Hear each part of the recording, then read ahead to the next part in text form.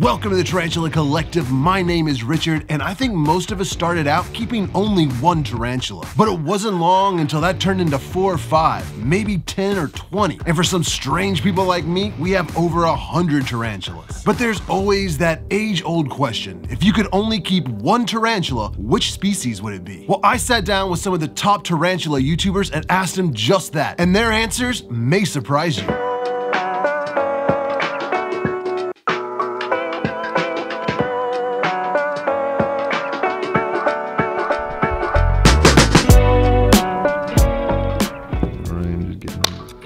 If you could only keep one tarantula, what species would it be? But you already know that answer. because on the panel that we had like 30 minutes ago, Yeah. we gave the same answer. Right. Yeah, it's But the people watching, they weren't the here. green bottle blue. My it is the the ultimate. I mean, it's not the ultimate tarantula, but if I really had to keep only one, it would be that one. Because first of all, it looks almost the coolest out of all tarantulas because it is blue and then the abdomen is orange, so the combination is like really contrasty, but it fits so good. And then there's uh, the fact that they web a lot and they grow pretty fast. They basically always eat, and the fact that they change their appearance when they are sling, they look completely different than from when they are adult. So that is also one cool aspect. So, and the, I, I think I already said, but they web their entire enclosure, and that is something that I really like. I like to see webbed enclosures. Yeah, me too.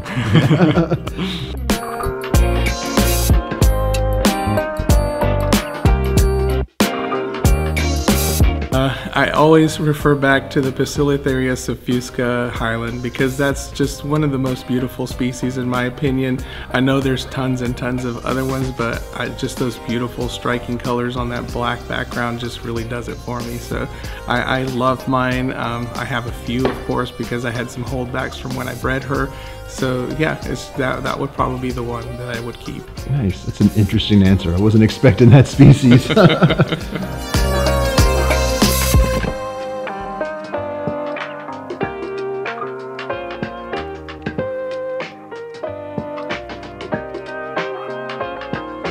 to keep one tarantula, what would it be? That's not a fair question. oh my gosh. I don't know. Rich, Richard, you stink. No, I'm kidding. There are times where I'm like, I can't keep. If it had to be something, it wouldn't be a new world because I, I love my new worlds and be- like I, I'm not a big fan of urticating hairs, but because I love them, I I- like I still keep them. I do love my old world tarantulas. I I think, man, that's it's such a hard question because there's just so many. It might be, and not because it's like super large as a spider, but it, it might be a Theraphosa stirmi. I, I think they're just a really cool animal. Actually, you know what? I take that back. Ageniculata, the Acanthoscurria ageniculata. I love the striking coloration, the banding on their legs. I love that they make such a good display animal. They're always out in the open. And of course, as I expressed prior to this, the, the feeding, watching them eat. They're an animal that will just go crazy at anything you feed to them. So they're so fun and they have a good growth rate. They can be skittish and defensive, but it's not terribly awful. Like, you know, you look at Nhandu's funny and they're kicking hairs at you, right? But Acanthoscurria I find is a little less skittish, at least in my own experience. So I think that's an animal. I love the size they get to, the, the vibrancy, everything. Like probably that.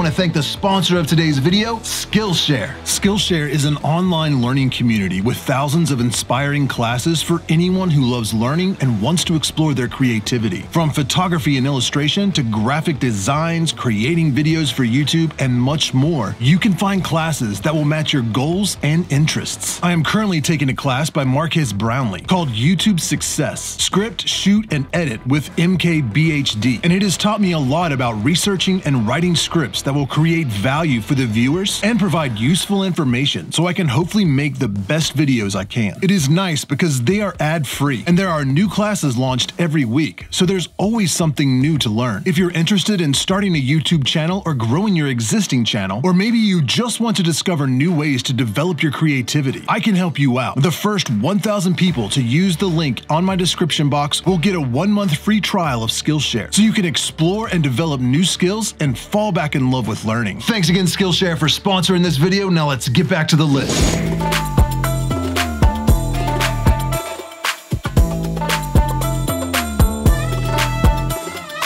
And if you could only keep one tarantula, which species would it be? Grammostola pulchra, hands down. I mean, they're just my favorite. They're big, cute, black, fluffy. Usually they'll tolerate handling. They're out a lot. They're not going to burrow and disappear usually for days. Uh, they're the best tarantula. Don't listen to anybody else.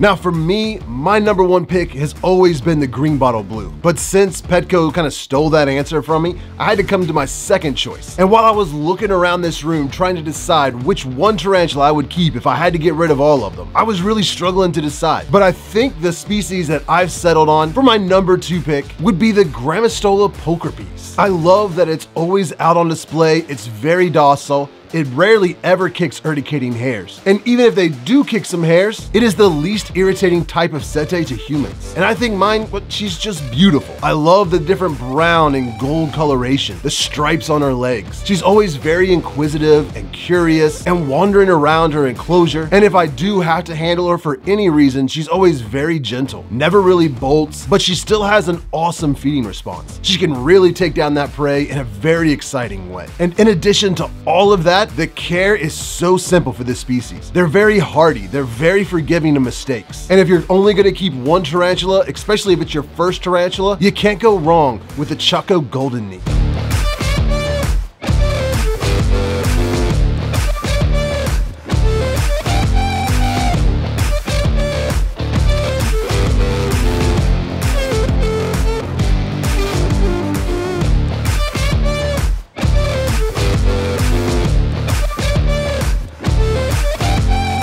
But what I really want to know is what your choice would be. So make sure to leave a comment down below and tell me what one tarantula you would keep if you could only keep one. I'm very curious as to what you have to say. Now I'll leave links to all the creators channels down below in the description. As always, I appreciate you watching. Subscribe if you want to see more. Thanks for buying Tarantula Collective merchandise, and I will see you next Tuesday.